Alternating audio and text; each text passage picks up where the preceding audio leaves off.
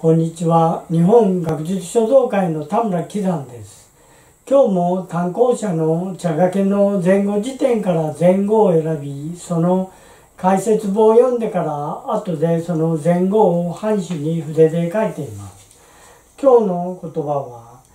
次第元主なし五運本来空なりです。これは、宗上法師が処刑の際に唱えた遺言の一節で、次第とは物質を構成する地、水、火、風の四つの要素。帰り見て我が身をまるで自分自身のものと思いがちだが、もともと好みは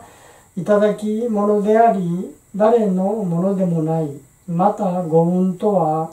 物事の存在を担う四季、樹、層、行、四季の5つの性質、すべてのものは五運が仮に集まってできているのであり、これが解ければまた元の空に帰っていくのである。般若心経に言う四季即是空のことです。